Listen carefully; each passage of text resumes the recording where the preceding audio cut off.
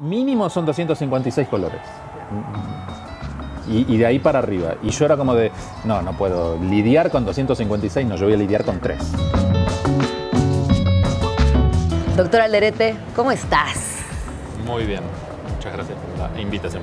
Oye, pues el día de hoy estamos aquí para platicar del año de la rata, que coincide justo con año pandémico y que para muchas fue transformador en diversas formas. Y que sin duda este proyecto es muy representativo de esas transformaciones que tuvimos oportunidad de vivir o por lo menos de mm, trascender o de observar, porque creo que fueron muchos los puntos eh, de vista de esta transformación a lo largo del año de la rata. Primero fue un causa de la pandemia, de estar encerrado, me puse a dibujar. Básicamente eso fue el disparador inicial, digamos, de estar dibujando y dibujando y dibujando. Cuando ya tenía un cuerpo grande de imágenes, recién ahí empecé a pensar que podía ser un libro. ¿Cómo, cómo cambió también la forma de colaborar? Fue, fue muy notorio porque eh, todos los que, los que empezaron a, a involucrarse en el proyecto de alguna manera, todos estaban encerrados en sus casas y con la necesidad de hacer algo. Entonces, o sea, gente que en otro momento capaz que está ocupadísima y no, ya sabe, no y las es difícil que las agendas coincidan, Sí, sí. en ese momento estábamos todos encerrados y con tiempo para hacer cosas. ¿Cómo fue también que, que resultó este formato, estos colores, este editorial, que me parece bien interesante este proceso, que tiene que ver directamente contigo y que me gustaría que nos compartieras acá en Chilango? Sí, eh, eh, todo, el- bueno, todo el libro está hecho con tintas directas, lo que les da eh, primero una saturación a los colores mucho más, más interesante para mí. Sí, sí, sí. Eh, Siempre me sentí muy limitado con el uso del color, siempre me costaba, era como de... Era como de. No entendía cómo, las, cómo había artistas que combinaban los colores de unas formas maravillosas y miles de colores, y yo siempre me sentí muy limitado en eso. Y aprendí a jugar con esas limitaciones. Entonces, hice de eso mi herramienta, digamos, el, el- eh, lo contundente que puede ser lo simple. Es como de son cinco colores, son cinco colores. Pero cuéntanos un poquito de Sonido Gallo Negro, que también traes un montón de planes por ahí y que ahora que ya estamos volviendo también vuelve la música. Volví, a- así que están todos invitados. 4 de junio en el Salón Los Ángeles. Presentamos el disco, vienen invitados especiales, vienen, nos van a acompañar una banda francesa que están ellos ahora en Los Ángeles, entonces vienen para hacer el opening del show. Se llaman Fox Real. Eh, está, va a estar el Dr. Lacra haciendo un DJ set. Eh, nos va a acompañar Molly Lewis, que, es, que ya grabó con nosotros, grabó varias canciones en este álbum. Ella es, es una música australiana y su instrumento es el silbido, silba, Wow. de manera espectacular. Va a estar Ernesto Mendoza también, que es mi maestro de Teremin. Oye, doctor Alderete, no puedo, no puedo no preguntarte, porque pues tú vives en esta ciudad hace mucho tiempo, eh, eres un personaje muy activo e importante en la gráfica.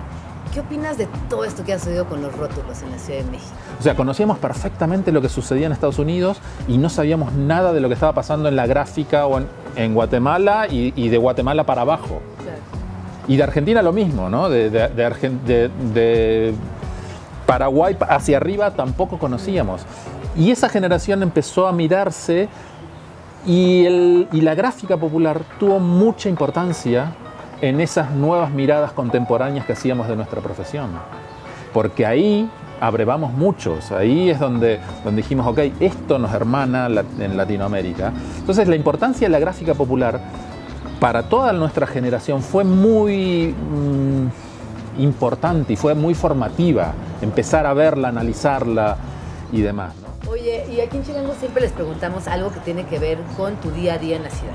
Entonces, ¿cuál es tu garnacha favorita? Ay. Pues yo ahora soy, hace un, bueno, ya hace unos años soy vecino de la Santa María y hay unos tacos que se ponen en la esquina de mi casa que ni siquiera tienen... Rótulo. No, ni claro, ni siquiera tienen puesto. Entonces no, Sí. no les pueden borrar nada porque no hay nada que borrar. sí, sí, sí. No, pero son de estos como, como nómadas Sí, de que van y están tal, tales días están ahí en la esquina y otros días quién sabe ¿De qué? dónde ¿De están. barba? ¿De qué son? Eh, no, tienen delicatessen, es como tiene picaña, chorizo argentino. Ya empiezan a una evolución de los tacos, pero son maravillosos. Ok, muy bien. Entonces ahí estamos. Taquito eh, callejero de la Santa María. Sí, sí, sí, sí, sí, sí. ¿Cuál es tu esquina. edificio o tu spot favorito de la Ciudad de México? Bueno, uno de mis favoritos así históricos creo es eh, la, la- tiene muchos nombres. Banobras. Sí, la Torre Banamex, Sí. yo la conozco. La- Tiene la- el, la- el la- triángulo Sí, que, que estuvo, estuvo mm, ahí abandonado mucho tiempo y tal. Bueno, dijiste edificio, eh, dijiste garnacha, rola.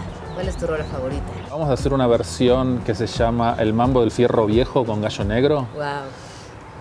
que retoma, como ya han retomado muchos, el, el- esta, esta, este- esta grabación que, que va dando vueltas por la ciudad de- de- del fierro, de los que colectan fierro viejo y demás.